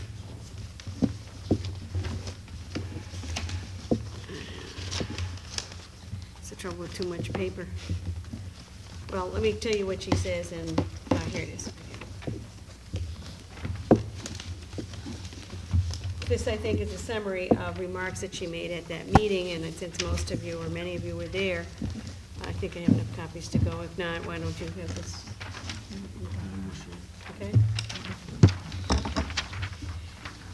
I also uh, mentioned earlier that I had received a copy of comments, or actually, I think it was sent to you, Jan, as chair, uh, from a parent uh, taking a somewhat opposite view. Um, At crux in these two letters is the feelings that people have about setting a mission statement that talks about academics being um, a priority.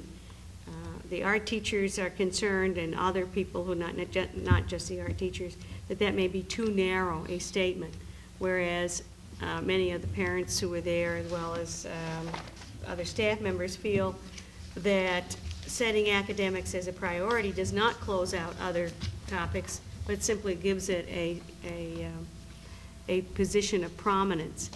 Um, At this point, I'm not sure I can come up with any wording that is going to be any different or better in pulling these two ideas together than what we now have. I have not, as you know, single-handedly written the mission statement.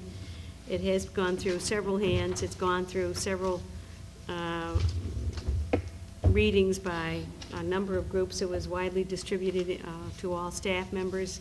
It was printed in the Courier, at least in its draft form. Uh, We've made some small changes since then.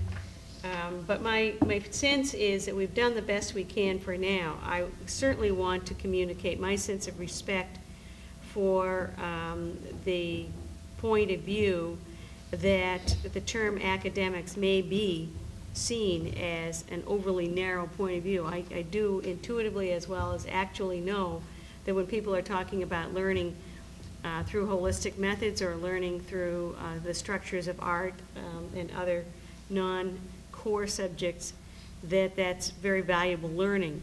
But I think the purpose of the mission statement is to set a priority and to set a priority that we can live with. And actually, I have to say, if you look at the way we schedule classes, uh, every, every year, every student from kindergarten on is engaged in a um, use of time that reflects that priority. I think the intent of the mission statement is to go beyond just use of time, however, and say we set as a vision significant learning in those areas that will be attained by everybody. Um, I'm sure that the art teachers and other related subjects feel that they can make, do significant learning for everybody too, but I don't know how to express that in some way other than what we have already tried to do. I would point out that nothing is carved in concrete. This is an attempt, a very serious attempt to weigh words and to put forward a mission statement against which we will measure goals and measure implementation. And I think it is truly a first step, and we'll, we will probably understand it better as we work with it. But I think schools have to set priorities. Um, I personally think that we cannot be all things to all people. And when I say that, I certainly do not want in any way to close out the arts or the way arts will help children see as well as young people grow. I value greatly what I see in the buildings and what I see students doing. Um, so I'm looking at this from a more systemic point of view and a kind of what are the realizable goals of the organization. And in that sense, and in the sense that we have a time-honored tradition that we follow with the way we schedule time in school anyway, I think that reflects our sense. So I feel I've done all I can do at this point to bring these points of, of view together, but I turned it over to you. Any comment from the board? Any comment from Rosemary? Yes, I, I have three, may I borrow? I gave my statement to someone as I was walking in. Um, I just had a question regarding the use of uh, a couple of words. And um, on the back page, specifically in the first line, uh, I would request that the board consider changing the word children to the word students. And the second line of the second item on the second page, uh, communicate respect for children. I would like that to also be um, people, excuse me, um, students. The use of the word children on the first page, the way I see it, is perfectly acceptable. And then uh, the other word I'd like uh, discussion about is in item number one, two, three, four, five, uh, line two. I'll read this sentence. To the extent that a well-rounded education encompasses mind, body, and soul, special attention will be given to sports and to aesthetic enrichment. I would uh, request that the board consider um, exchanging the word athletics for sports. Uh, in my view, athletics is fun and contests, and what I've seen with the athletic programs that we have, we do in fact deal with uh, wellness, physical conditioning, discipline, and many other things. And I don't know how many people would say it's fun. Any comment on those suggested revision? Any other comments? Any comments from the public? The other night, one of our fellow school board members um, made a comment that I seemed quite quiet that evening, and there was, there was an element that he thought that I would pick on, pick up on, because I seem to be a very moral type person, and I'm going to address that this evening. Um, It has to do with, on the second page, the fifth paragraph down, and I need, it it's, it states, "To the extent that a well-rounded education encompasses mind, body, and soul, I need to have soul explained to me." Hmm. Well, um, I think this is uh, one of those statements that came out of a discussion that was more classical in the sense of the sound mind and the sound body, uh, which goes back, of course, to the Greco-Roman era in the sense of a classical tradition to uh, the underpinnings of what an educated, um, what the goal of education would be. I'm not sure we really got into Plato and Aristotle and so forth, uh, and I don't know that I want to do that, but um, I'm sure that that phrase came out of that kind of discussion. Uh, It was not intended to be religion-specific, um, nor is it intended to be anti-religious. Uh, I think one of the things that we did not actually have a statement in here about moral education or ethics, which is another very real concern that was raised in our parent uh, dialogues, um, and appropriately so. Uh, I suppose because we believed that there were statements that indicated that um, those kinds of things are very appropriately part of the sweep of an educated man or woman. I'm not sure I'm doing any better than that. No, I was the guilty party, as you could tell. uh, Charlie looked at me. Uh, I, I made the observation that uh, mind and body might be enough, and that the introduction of the concept of a soul as an extension of the mind was a, uh, a religious concept. And uh, I was surprised to see it there. Not surprised enough uh, to uh, say anything tonight, however. But uh, w- i- if one were going to separate church and state very strictly, I think one would simply say mind and body. And that would be my recommendation, to strike so. Ann? I, I think that the person who actually wrote this, this little paragraph is not present tonight, but um, he is a very able writer, and I, I think it's more of a, it it was meant more in the poetic sense of the whole person sense rather than any religious sense. Yes, I And I would don't mean to put words in his mouth if he's watching, but. But I, I- I would But I- would yeah, not want I see, anything that yep, would give yep. any connotation of a religious nature. Yep. And that would be my. Seeing no other discussion, uh, entertain a motion to accept or recommend accepting this mission statement. So, Ann, second? Jan? Any further discussion? All those in favor? Seven zero. Okay, um, Okay, We'll now move on to new business. Yeah. Uh, The first item is personal requests, and I will yield to the superintendent. Okay, um, I'd like to add a, an item to your uh, agenda that I received since I put this together.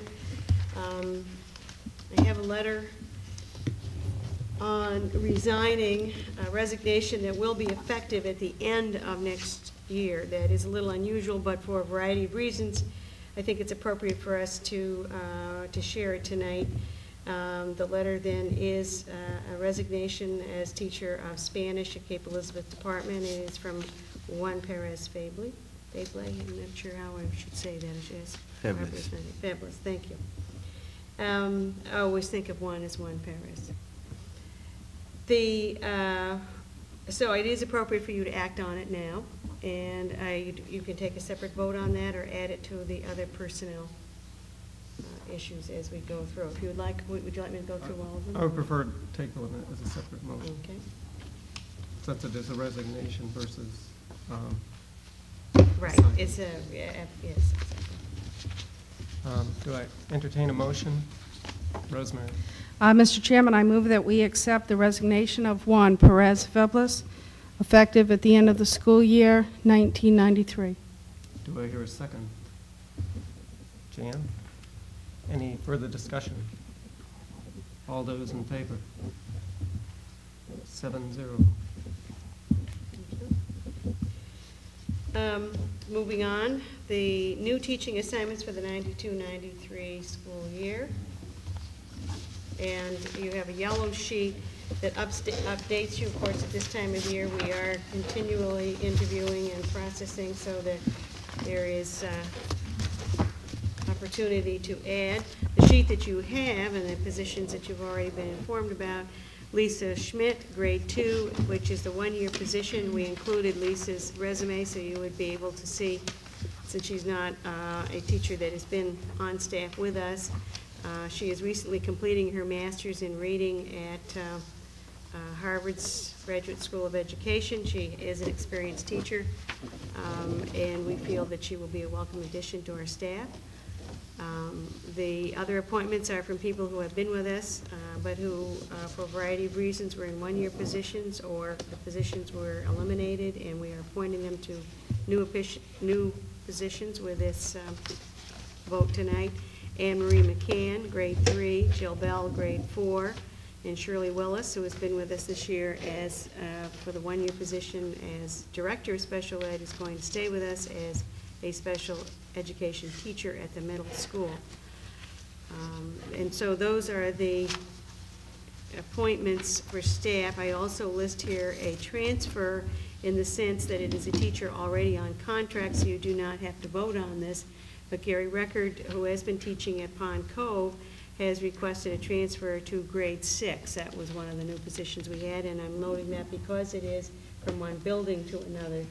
Uh, Again, not, um, you can include that in your vote, but it's not, he is already under contract. You're changing his assignment. The, uh, in addition to that, on your yellow sheet, which just calls it to your attention that this is something you didn't have in your packet, uh, we're asking, uh, or expanding time for Wilma Miramontes. Uh, She's been teaching Spanish for us this year at the middle school. Uh, She's going from three tenths to six tenths, and Susan Dana, who also has been teaching this year for us at the middle school, going from five tenths to six tenths. And this is because, you may recall, we reduced Barbara Cannell's time uh, because she wanted to work at the high school only, and um, we needed to cover those classes, and that's how we proposed doing it.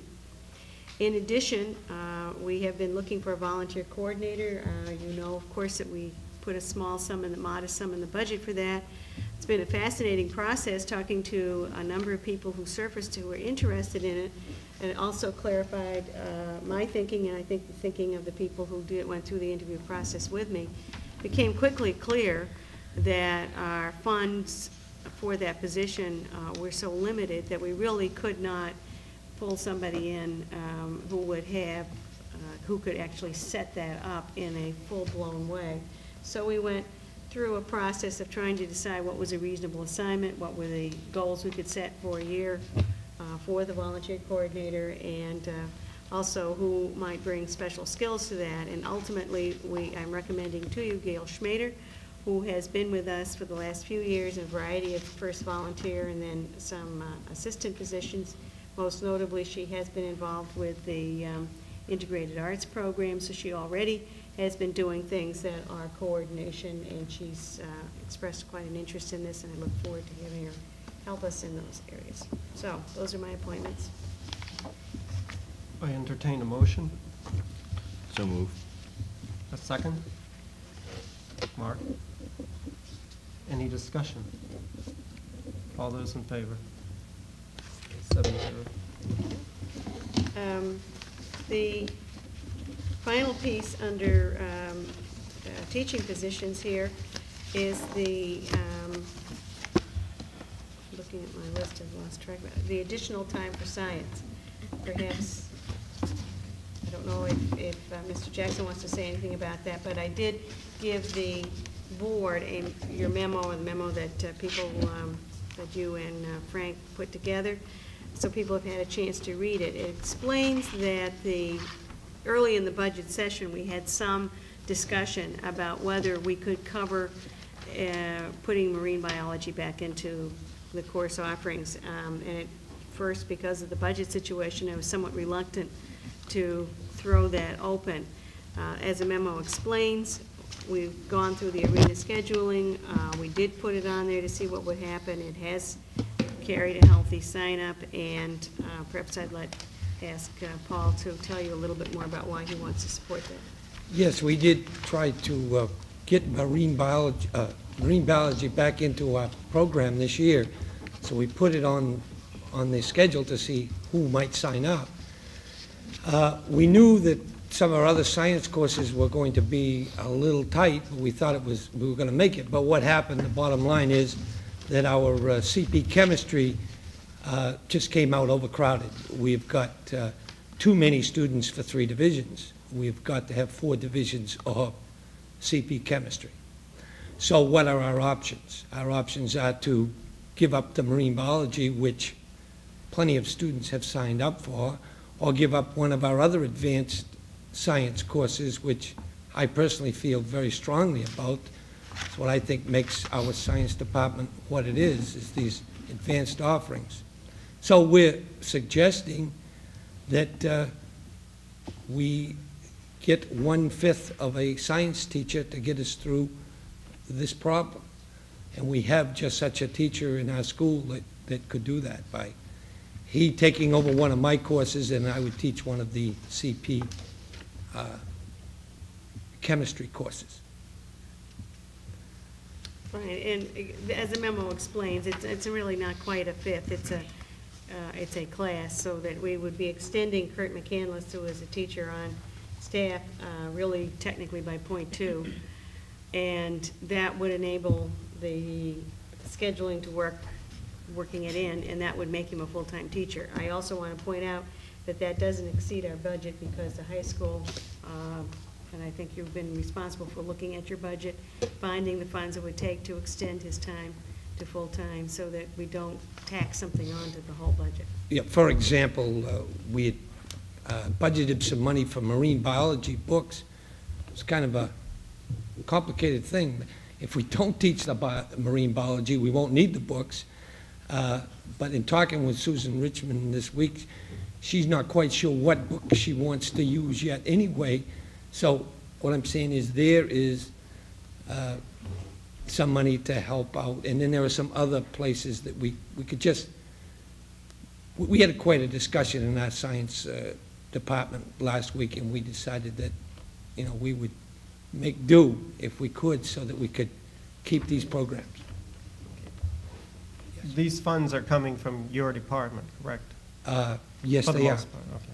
So it, it's a team approach to something you feel should be offered? Yes, it is. Okay. Any other question? Rosemary? Yes, I, um, Mr. Jackson, um, based on this letter, I just wanted to um, find out, uh, we now won't have any uh, students on the waiting list for chemistry?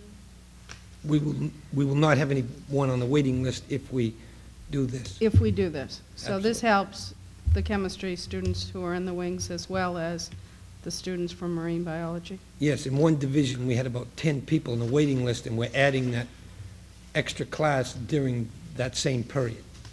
Thank you. Any other comments? Seeing none, um, I would entertain a motion. Rosemary? Uh, Mr. Chairman, I move that we accept the um, high school's uh, request for additional staffing for the science department. A second? Loretta? Any further comment? All those in favor? Seven zero. I think that is an interesting example of teamwork, that the, the group itself decided that this was an important objective, and I'm glad we were able to arrive at a positive answer. And my final um, Uh, personnel issue, nominations for administrative contracts for the 1992-93 school year. You have a list in your, your packet.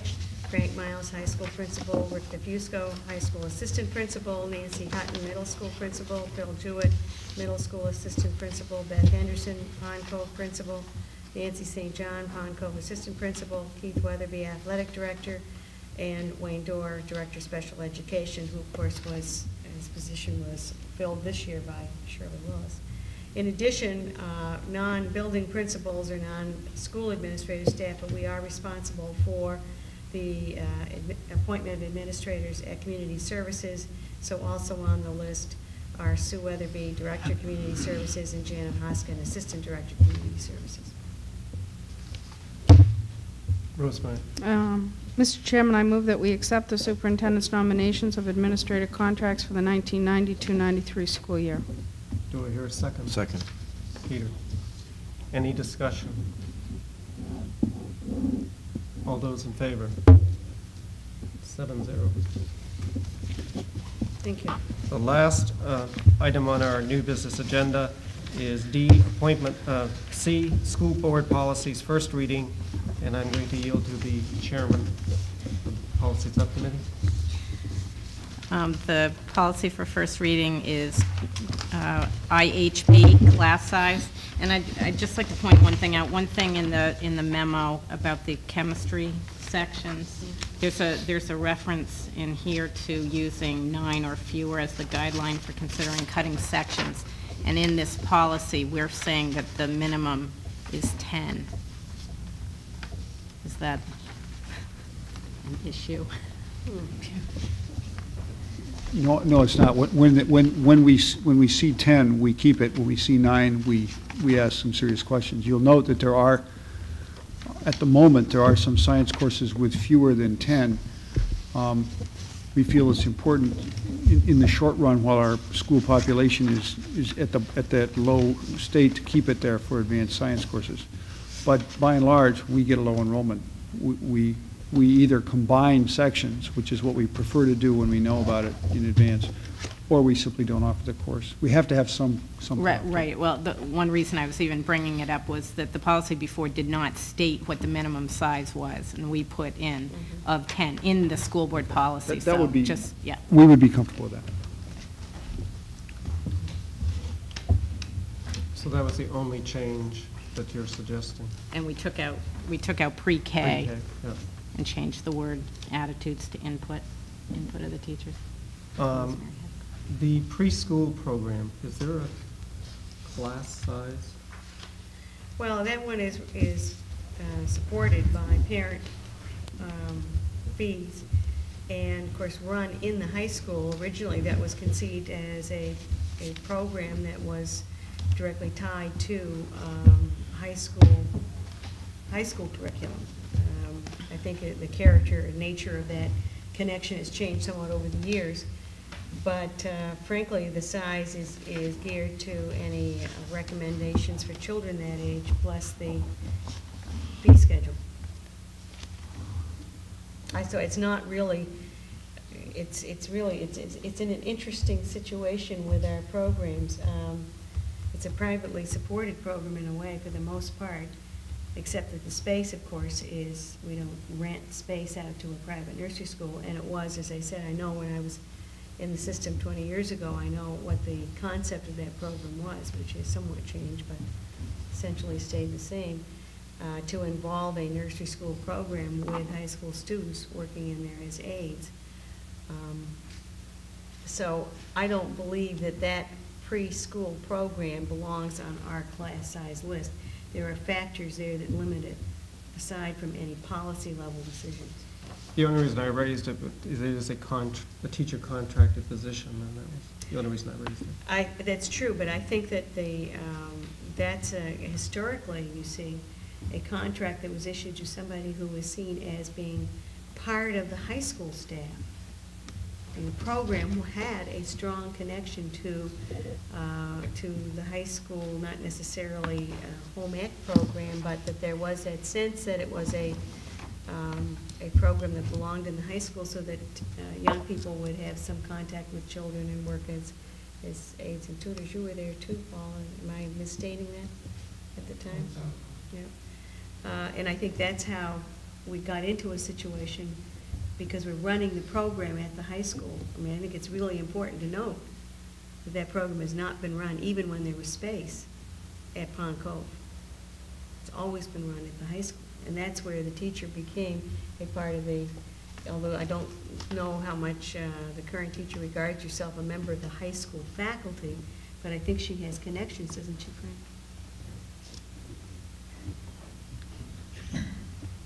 Frank?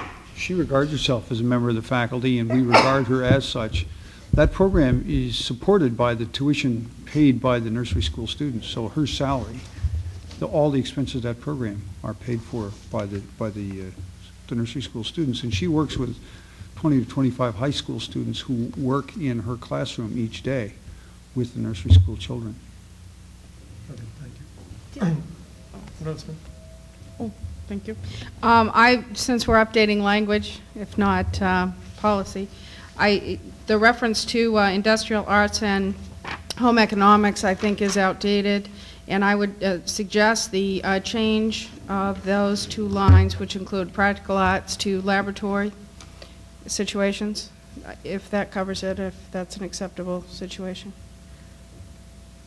I'm not sure what, uh, Frank, what about lab classes at the high school? What, is there any attempt to keep those in, different from the, the class size, the non-lab part of the class?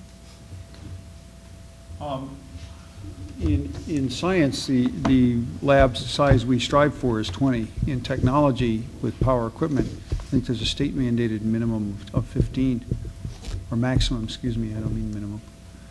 Um, And I think we, we adhere as closely as we can to that. So technology now, given changes of courses, uh, what you're, you're suggesting is 15, it used to be 16. Well, well, I- 15. 16, uh, I may I may have the wrong number. I think we have to be careful whether we talk about technology, meaning a drafting class, which can have 20, Right. 20 students in it, or a graphic arts class, or we're talking about power equipment such as welders or table saws, where we want a different level of, of monitoring.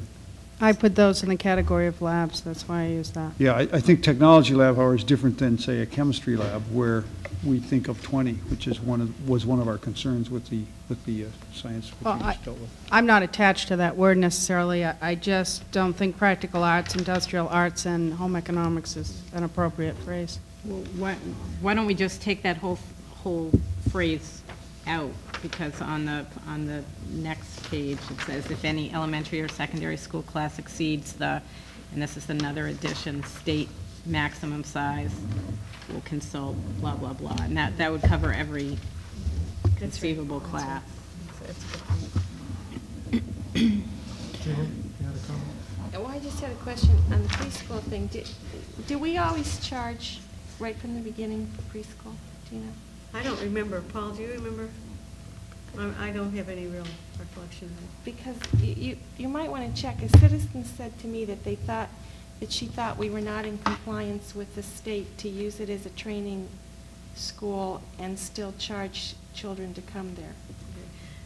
I will certainly, you know, look into that because I don't, I really don't know. I just know that, um, that the original concept of that was pretty much has been stated here tonight and where and when and what the history of fee charging is, I really don't know, but I can find it.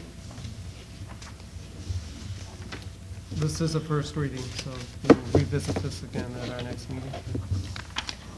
Um, I entertain a motion to enter executive session for the purpose of discussing contract negotiations. I move we enter executive session for the purpose of discussing contract negotiations. A second.